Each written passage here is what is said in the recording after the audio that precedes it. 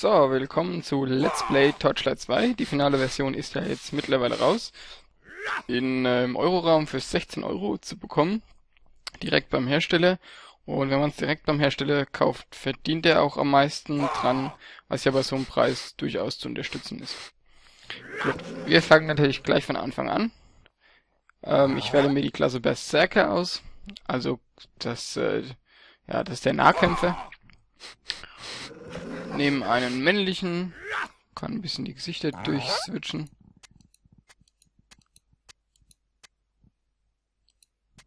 Sieht ein bisschen aus wie Jason Statham.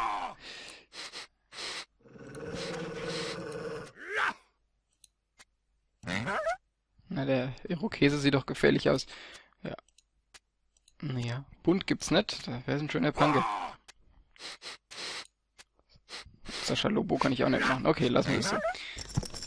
Dann noch einen Charakternamen nehmen. Und wir können uns auch ein Tierchen aussuchen. Das kommt, glaube ich, im nächsten Fenster dann. Jawohl. Da hat sich die Auswahl ein bisschen erweitert.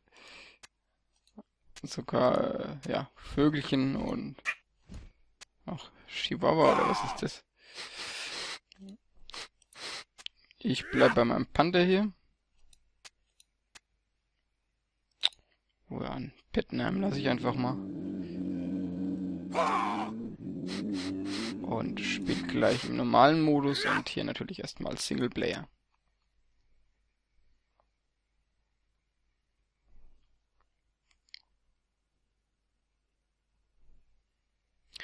Ich bin jetzt hier an einem Laptop und äh, Fraps läuft halt für die Aufnahme und ähm, ich finde, dass da das Spiel sich mit sehr wenigen Ressourcen also wirklich zufrieden gibt, das ist ziemlich positiv.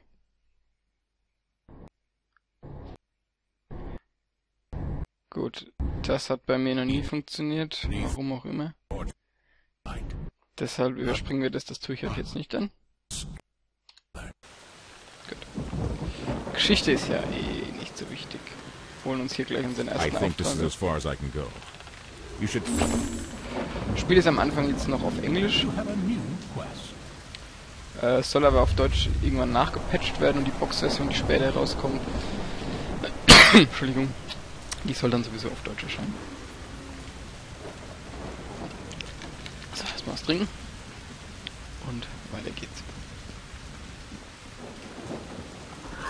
So, da kommen schon die ersten Gegner. Ich tu mal ein bisschen ran, dass man ein bisschen was sieht. Und mein Begleiter, der hilft mir hier natürlich tatkräftig beim Gegner vermöbeln. Was haben wir da Schönes eingesammelt? Gleich mal ins Inventar schauen. Der hat er gleich angelegt. Ach, ich habe jetzt noch gar nichts. Okay, ich bin also noch hab nur Waffen. Was können die Waffen denn? 22 Damage per Second. Okay. Gut. Und hier auch immer ganz schön, äh, wenn man halt hinter, hinter dem Gebäude, hinter dem Gegenstand ist, man sieht sich halt trotzdem und die Gegner werden rot dargestellt. Also man behält da auch den Überblick, wenn man sich selbst nicht direkt sieht.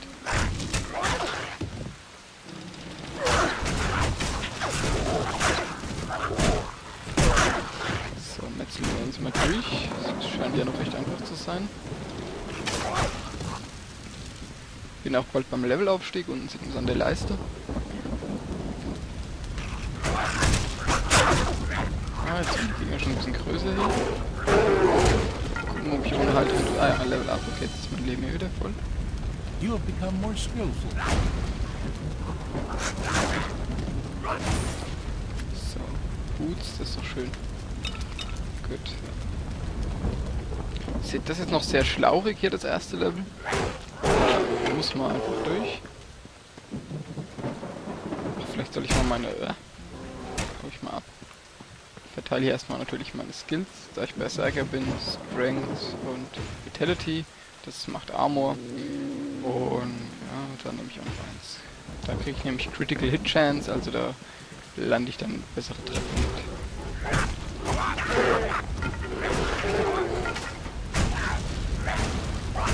Und natürlich immer alles schön durchsuchen nach Gold und nach Gegenständen. Oh, jetzt wir etwas unten an der Aura. Da ist dann noch lila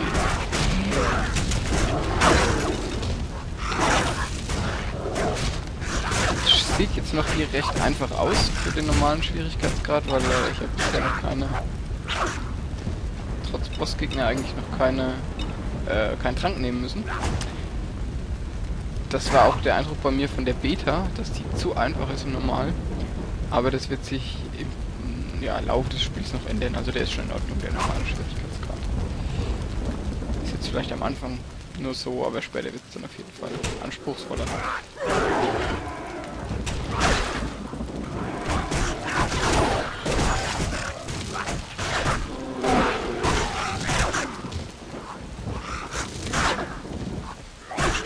Habe ich jetzt auch noch nicht gestellt, ne?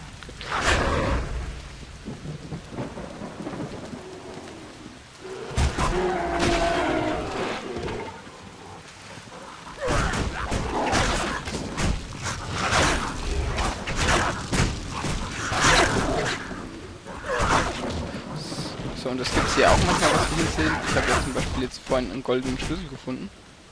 Und damit kann ich solche versch also verschlossenen Truhen dann aufmachen. Ich glaube, das gab es ja in Diablo auch. verschlossene Truhen und Schlüssel finden. Hier aber selten. So. Gut. Äh, ja, Spezialfähigkeit. Tipps kommt mir hier, bla bla bla. So.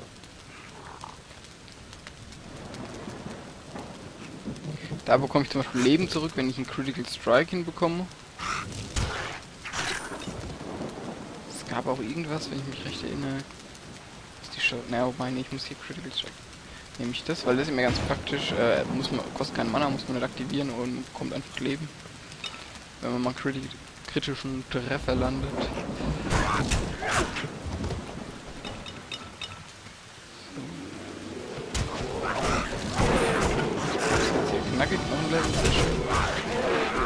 Kann ich gleich weiter verteilen.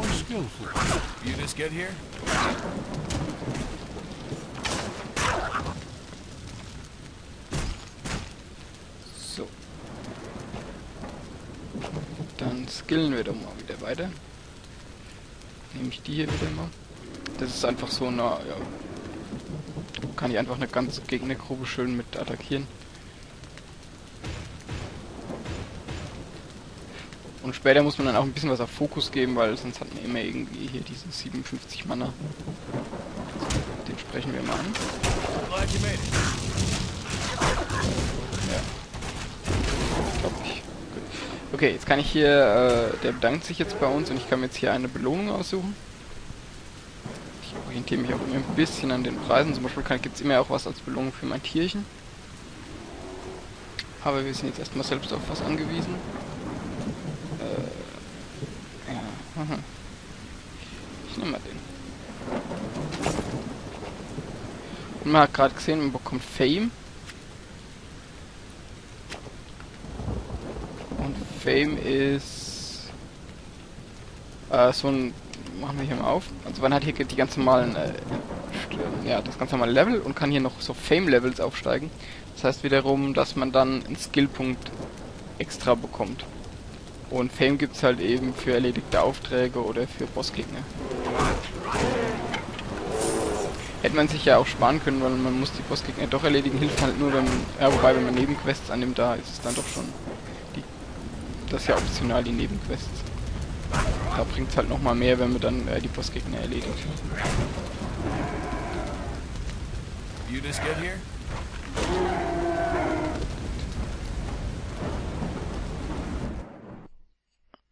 Ja, das war jetzt das erste Let's Play. Wir sind jetzt einfach mal ähm, ja, zur Enklave durchgeritten. Und ja, die richtig spannenden Abenteuer folgen dann im nächsten Teil.